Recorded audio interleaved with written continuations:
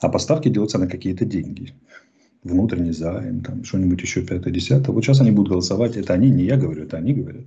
Наши доблестные американские друзья, они говорят, что мы проголосуем это в конце мая. А куда торопиться в самом деле? Целых три недели. Ну да. Они под твой день рождения проголосуют. Пофиг, что там попасную взяли. Главное, мы никуда не торопимся. Главное, все рассчитать и в конце мая взять проголосовать. Я предлагаю в конце июня. Оно понадежнее.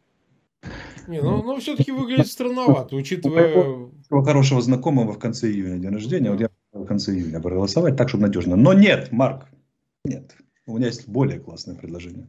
Так. 3 августа у меня день рождения. Я предлагаю а. голосовать в конце августа в честь день рождения Арестовича.